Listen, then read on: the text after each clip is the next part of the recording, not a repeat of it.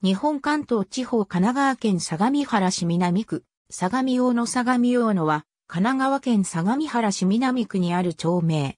現行行政地名は、相模大野1丁目から9丁目。郵便番号は252-0303。住居表示実施区域である。相模原市の南側の玄関口として再開発が進み、現在では南区における最大の都市部に成長している。南区最大の繁華街である。相模大野駅は南区最大の利用者数を誇る。しかしながら、商業面においては、隣接駅の町田駅周辺の方がすでに大規模な証券が形成されていたことから、規模としては中程度とされる。相模原市北部の中心地である橋本に対する南部の交通、商業の中心地として機能している。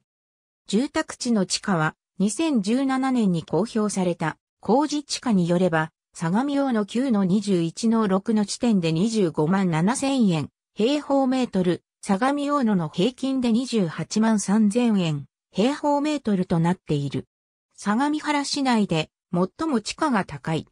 住居表示実施区域が相模大野駅周辺の地域であることから、2018年1月1日現在の世帯数と人口は以下の通りである。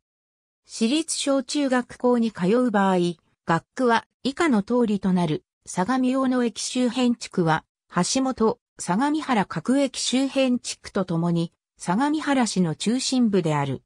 また、橋本地区に続き、中心市街地活性化法に基づく基本計画の区域に位置づけられている。1986年3月に商店会相互の協調を図り、各商店会の振興発展を図るとともに、相模大野地区の繁栄に寄与することを目的に、相模大野駅周辺商店会連合会が設立された。下記の4商店会で構成されている。母の相模大野。